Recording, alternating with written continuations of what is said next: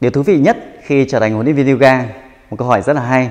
Có một người bạn đã hỏi à, điều thú vị nhất mà khi ba trở thành huấn luyện viên yoga và làm công việc yoga đó là đây là một công việc rất là thoải mái, à, thoải mái về thời gian. À, số 1 đó là thời gian mình có thể là chỉ bạn hình dung xem cái thời gian mà mọi người đi tập ấy hàng ngày đấy à, là cái thời gian mà nó không liên quan giờ làm việc.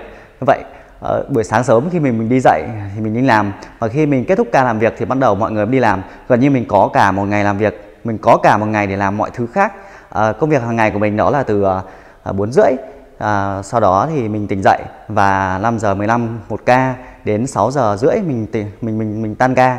Và ca tiếp theo là 7 giờ đến 8 giờ 15 thì chúng ta lại có một cá buổi sáng từ 8 giờ 15 đến tận 12 giờ rưỡi. Chính vì nhờ công việc yoga mà mình dậy sớm uh, thường xuyên hàng ngày. Và chúng ta có một cả một thời gian rất là dài hơn so với rất nhiều người khác. Trong khi mọi người khác đang ngủ thì chúng ta đã làm được rất nhiều điều uh, thú vị và cứ mỗi buổi sáng tỉnh dậy lại làm cho chúng ta năng lượng nhiều hơn. Với công việc yoga ngoài ra cũng cho cho Kiba một cái trải nghiệm rất là hay đó là được tương tác với rất nhiều các cái nhóm học viên uh, những cái người ở công việc nghề nghiệp khác nhau. Và mỗi người lại có những cái chia sẻ những cái kinh nghiệm và thông qua đấy mình cập nhật mình học được rất nhiều các kiến thức.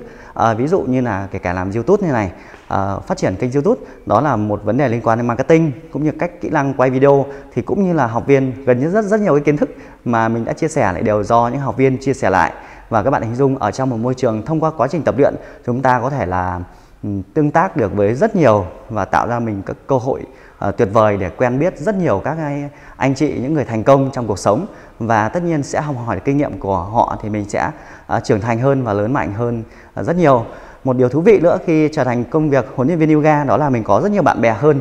Các bạn hình dung uh, mình thấy tất cả các bộ môn nhưng mà duy nhân bộ môn yoga thì cái sự kết nối cộng đồng nó cao hơn rất là nhiều. Chúng ta đi đâu cũng có những người bạn chung đam mê. Và có một thời gian rất là thú vị đó là tầm khoảng tháng tháng năm 2020 à 20 20 à, 25 2018 thì hai vợ chồng mình à, vợ chồng Kim Ba và bà xã là Ngọc Anh thì mình đã có quyết định có một chuyến đi à, à, đi du lịch đi du lịch nhưng mà theo kiểu trải nghiệm à, đi suốt trong vòng một tháng à, suốt trong miền Nam thì cứ đến thành phố nào đó thì mình lại gặp gỡ được rất nhiều các anh chị quen được rất nhiều câu lạc bộ mà mình trước giờ cũng chưa quen họ đâu. Mình chỉ biết là đăng lên Facebook là à, có anh chị nào ở thành phố Vũng Tàu anh chị nào Nha Trang không thì muốn giao lưu và chia sẻ.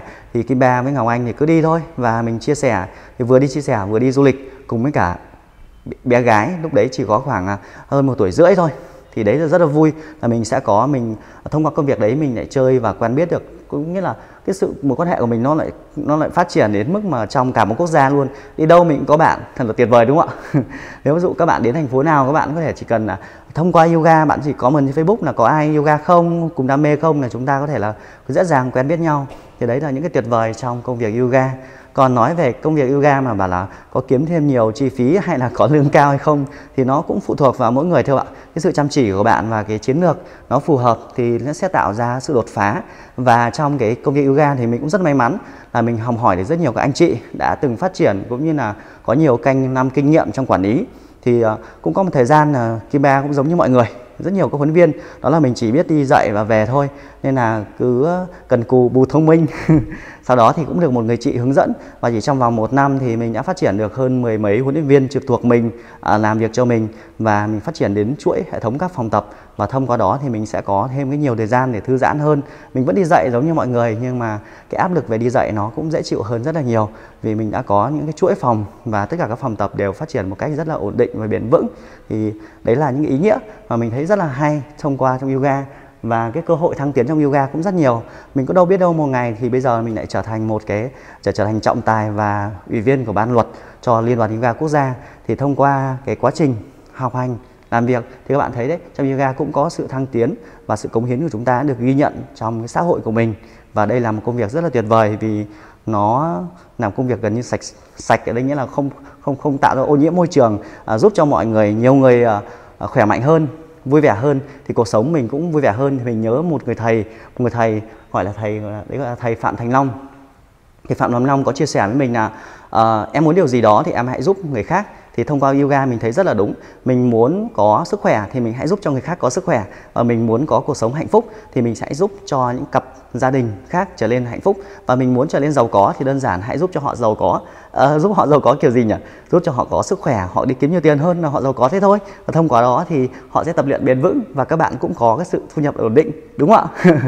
Đấy là những chia sẻ của Kiba và mong rằng nếu mà các bạn có sự lựa chọn trong công việc của David Yoga và cũng như là thì thì thì thì hãy chọn yoga À, đấy là quyết định của bạn nhé. Nhưng nếu các bạn muốn cần một sự trải nghiệm hay một cái lời tư vấn à, trong suốt 15 giảng dạy và gắn bó với công việc này và mình cũng muốn mong rằng tiếp tục tiếp tục duy trì công việc này và bạn muốn có một lời khuyên hay một cái định hướng nào đó thì cứ đừng ngại ngần và có thể liên hệ với trực tiếp với Kimba thông qua các cái kênh YouTube, à, fanpage hay số điện thoại của mình. Mình sẵn sàng hỗ trợ và chia sẻ giúp đỡ các bạn.